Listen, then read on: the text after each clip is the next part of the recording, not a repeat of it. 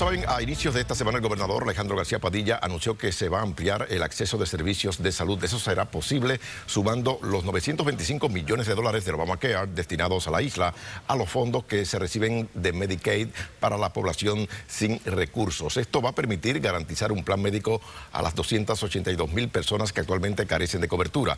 Pero mientras eso se anunciaba en la isla, en Estados Unidos, el pulseo entre el presidente y el Congreso mantiene el gobierno cerrado y ese país en suspenso.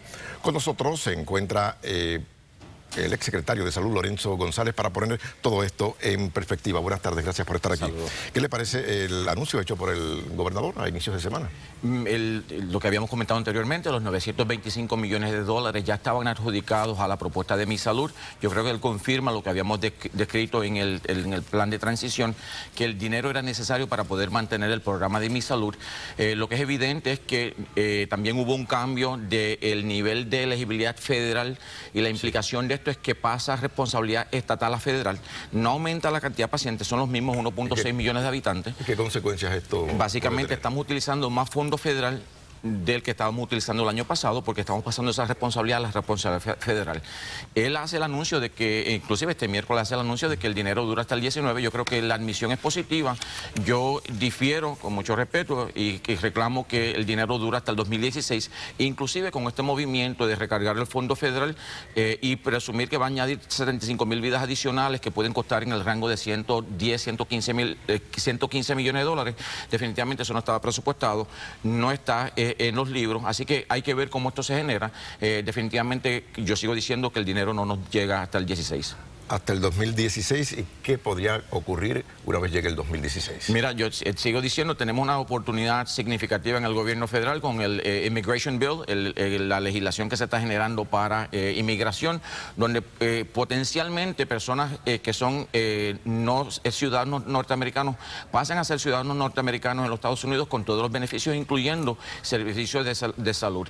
El, el reclamo es tratar de insertarnos en esa discusión con la expectativa de que podamos pedir al gobierno gobierno federal que como parte de ese Immigration Bill que a Puerto Rico se le reconozca la necesidad de 1.5 billones de dólares recurrentes para poder financiar nuestro programa en Mi Salud. Le pregunto, ¿por qué se insiste en mantener el gobierno de Estados Unidos cerrado si ya el Obamacare es, es ley y fue ratificado por el Tribunal Supremo?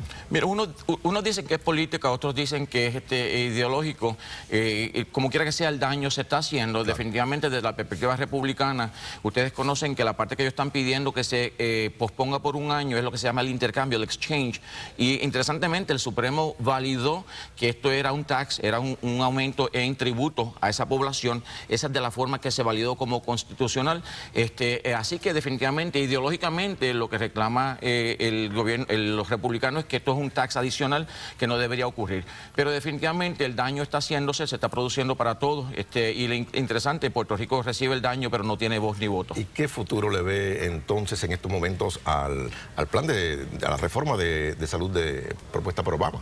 Definitivamente la propuesta de Obama es una propuesta de avanzada, tiene unos elementos de mucho valor, particularmente el reconocer personas con condiciones este, preexistentes, el mantener el seguro a personas después de 26 años, después que estén viviendo bajo el techo de sus padres, el reconocer unos beneficios particulares a la mujer, particularmente para prevención, el reconocer vacunación. Eh, así que hay unos beneficios significativos. La problemática siempre es quién lo financia, dónde está el dinero para poder generar esto y ahí es donde el presupuesto toma discusión. ¿Cómo se afecta la imagen de Estados Unidos con este cierre? Porque no, no hay dinero para salud, pero sí hay dinero para, para las guerras que se mantienen en, en el exterior. Y yo creo que una vez más, esto es político e ideológico, eh, ambos elementos. Hay muchas personas que reclaman, vamos a tomar eh, eh responsables sobre lo, doméstico y vamos a olvidarnos lo que pasa fuera de nuestro este, país. Eh, básicamente hemos visto la intervención de los Estados Unidos, ha sido en cierta medida un poquito más parca en la situación de Siria, pero evidentemente yo creo que vemos un movimiento político, tenemos elecciones este, en, en Estados Unidos, particularmente para el Congreso, así que en el 2014 vamos a ver mucho más de este pulseo de parte de los demócratas y republicanos. Lorenzo González, exsecretario de Salud, gracias por estar con nosotros Un placer. más.